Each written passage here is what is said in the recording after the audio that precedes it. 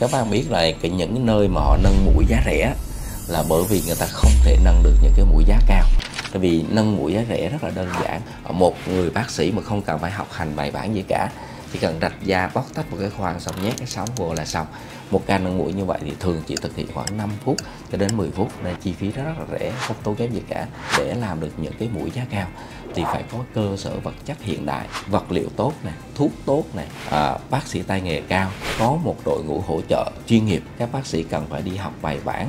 Thường là sau khi học ở Việt Nam chúng ta có bằng cấp chuyên khoa 1 về phẫu thuật thẩm mỹ rồi thì chúng ta tiếp tục phải đi học ở nước ngoài học rất nhiều cái phương pháp để mà tạo hình mũi cấu trúc tạo hình đầu mũi tạo hình cánh mũi tạo hình trụ mũi tạo hình sóng mũi với nhiều phương pháp phức tạp khác nhau.